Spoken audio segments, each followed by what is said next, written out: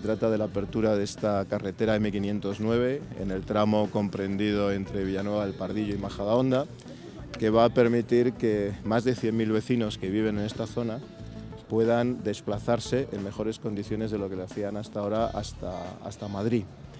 Se trata de una actuación que hemos venido haciendo en los últimos años, eh, de más de 5 kilómetros. Básicamente la obra ha consistido en desdoblar la carretera, tenemos como ven dos carriles en cada sentido. Hemos eliminado también puntos negros de tráfico como son todos los accesos a las urbanizaciones.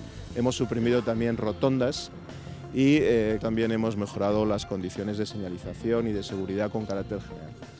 En lo que llevamos eh, de estos años en la Comunidad de Madrid hemos desdoblado 150 eh, carreteras, lo cual ha supuesto en términos de seguridad un gran avance para la Comunidad de Madrid. Por eso tenemos las mejores tasas de mortalidad y de seguridad en el desplazamiento vial.